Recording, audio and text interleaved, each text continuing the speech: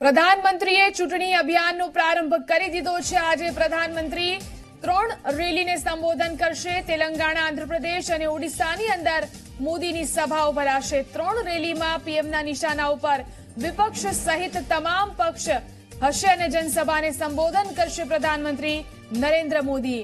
તો આજે દક્ષિણ ગુજરાતની અંદર ત્રણ સભાને સંબોધવા જઈ રહ્યા છે પ્રધાનમંત્રી. ગઈકાલથી તેમને ચૂંટણી અભિયાનનો પ્રારંભ કરી દીધો છે. ગઈકાલે પણ તેમણે ત્રણ રેલીને સંબોધિત કરી હતી. આજે નરેન્દ્ર મોદી તેલંગાણા, આંધ્રપ્રદેશ અને ઓડિશાની અંદર સભાને સંબોધન કરશે. ત્રણ રેલીની અંદર પીએમના નિશાના ઉપર વિપક્ષ શાસન સહિત તમામ પક્ષ ઉપર તેઓ નિશાનો સાથે જનસભાને સંબોધન કરશે પીએમ મોદી. તો આજે આંધ્રપ્રદેશ, તેલંગાણા અને ઓડિશાની અંદર પીએમની રેલી યોજાશે.